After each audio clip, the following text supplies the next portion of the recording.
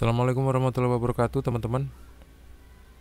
Jumpa lagi bareng saya di channel Teknisi Digital. Di video kali ini saya mau ngebacain komentar kalian yang udah masuk di sini. Seperti ini dari Doni. Kita lihat Doni ngomong apa. Kata Doni Andrial Setelah di jumper ke kapasitor putaran terbalik Setelah ditukar ke kaki yang satunya menjadi tidak hidup sama sekali. Apa penyebabnya Gan? Itu salah sambung itu bang salah ngambil kabel untuk di jumper ke kaki kapasitor gitu. Gimana caranya kita ngambil atau memilih kabel yang tepat untuk di jumper ke kaki kapasitor? Caranya adalah dengan melihat dua kabel steker. Kabel steker itu kan ada dua. Saya contohkan ya nggak ada kabel steker di depan saya nih. Gini aja deh. Kabel steker itu kan ada dua. Ada dua. Yang satu masuk ke saklar. Biasanya warna coklat. Yang satu lagi nggak masuk ke saklar. Yang satu itu langsung masuk ke spool. Biasanya disambungin sama kabel yang lain lagi tapi itu nggak usah dipikirin gini aja. Pokoknya ambil aja kabel dari steker yang nggak masuk ke saklar. Itu yang di jumper kabel yang masuk ke saklar biasanya warna coklat dan kabel yang masuk ke spool biasanya warna biru. Jadi kabel yang biru itu yang di jumper biasanya kan kabel saklar itu kabel steker itu kan cuman berhenti sampai saklar aja ya. Sampai situ karena nggak sampai langsung spool kalau untuk ke spool itu itu biasanya disambungin sama kabel yang warna lain lagi. Biasanya juga sih untuk kabel spool itu warnanya juga sama biasanya warna biru. Jadi kabel steker itu panjangnya satu meter misalnya satu meter setengah lah satu meter setengah panjang kabel steker itu. Kabel steker itu ujungnya nanti berhentinya pasti di saklar. Yang satu warna coklat masuk ke saklar yang satu lagi nggak masuk ke saklar. Nah di situlah akhirnya disambungin yang kabel warna biru itu dengan kabel yang warnanya sama atau berbeda warna yang nantinya bakal masuk ke spool gitu Perhatikan aja kabel yang disambungin dengan kabel warna biru itu warnanya apa. Kemudian kalau misalnya udah tahu warna kabelnya itu warna apa, misalnya kabelnya warna biru, kabel warna biru itu biasanya kan ada di dalam selongsong warna putih biasanya. Telusuri aja kabel warna biru di dalam selongsong itu. Jadi kupas aja kupas saja selongsong kabel besar warna putih itu karena di dalamnya kan ada banyak kabel tuh biasanya ada empat kabel. Nah kabel yang biru itu dikupas setelah selongsongnya dibuka ambil kabel warna biru terus kupas kabelnya kasih kabel jumper kemudian kupas kabel kaki kapasitor ambil salah satu aja terus tempelin deh di sana kalau muternya kebalik, pindahin lagi ke kaki kapasitor yang lain. Sebetulnya cuman gitu aja sih cara ngejumper tuh, gampang banget kok Bang Doni Andrian. Andrinal, Doni Andrinal. Cuman kayak gitu aja caranya.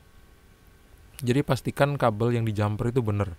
Kalau kabel yang di jumper itu nggak bener, efeknya jadi kayak gitu.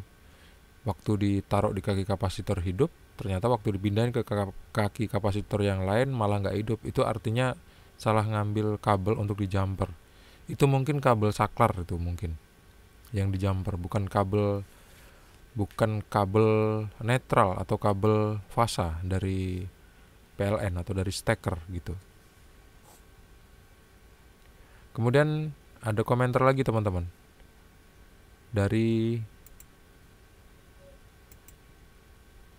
Zidan Audio. Kata Zidan Audio, menurut saya bedanya yang mahal terletak di elemen yang jauh lebih panas Aku pernah coba solder murah, kupasangi mata solder mahal. Sama aja, malah timahnya nggak mau putus-putus. Kalau dideketin sama mata soldernya. Sedangkan kalau pakai yang mahal, langsung nyos pekerjaannya jadi lebih cepat.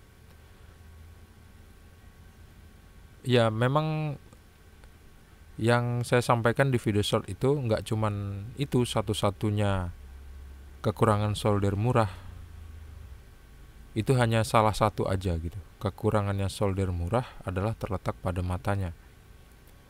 Bukan berarti kalimat itu menegasikan kekurangan solder murah yang lain gitu. Tentu masih ada kekurangan-kekurangan dari solder murah yang lain gitu Bang Zidan Audio.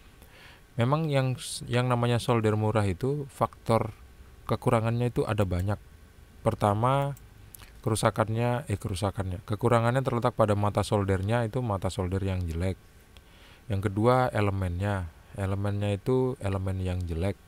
Yang ketiga kabel stekernya.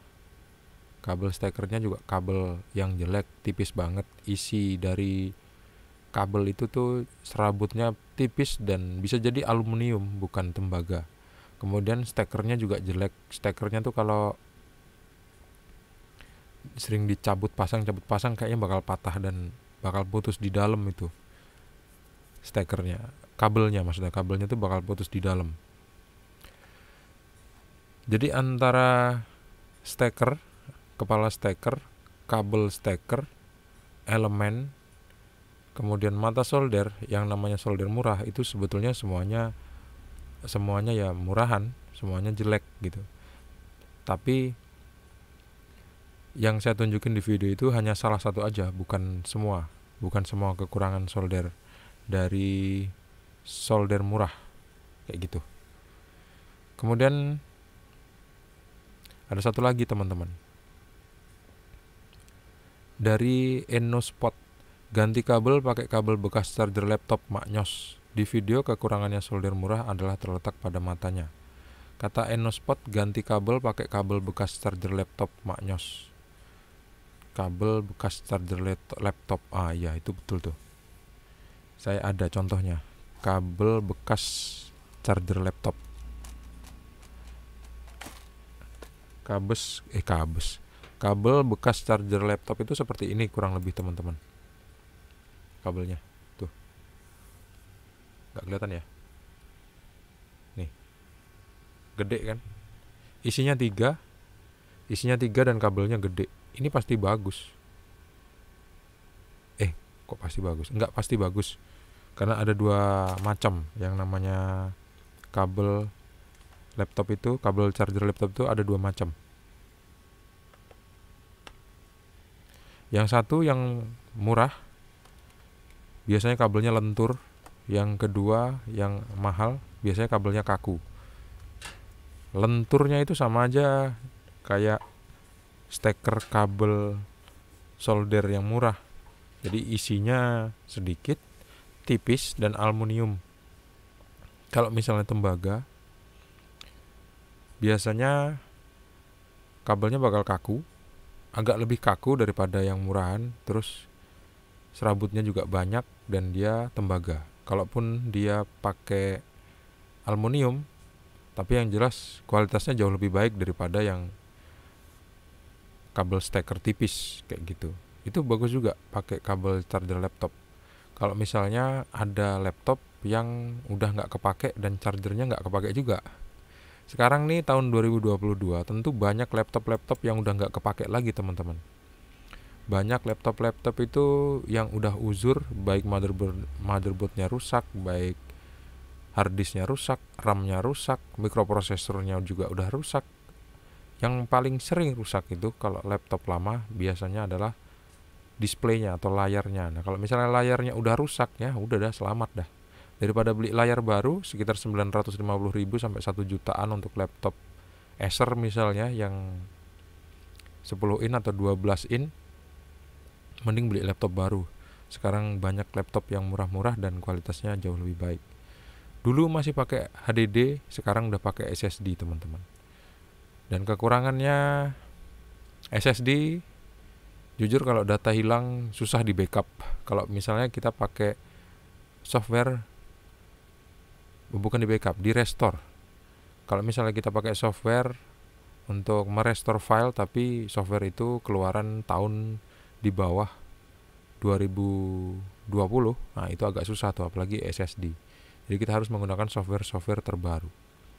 Kayak gitu. Teman-teman tiga komentar dulu yang saya balas. Untuk komentar selanjutnya bakal saya balas di video selanjutnya. Terima kasih teman-teman sudah menonton. Jangan lupa untuk klik like subscribe dan membagikan video ini ke teman-teman kalian. Sampai jumpa di video selanjutnya. Assalamualaikum warahmatullahi wabarakatuh. See you and bye bye.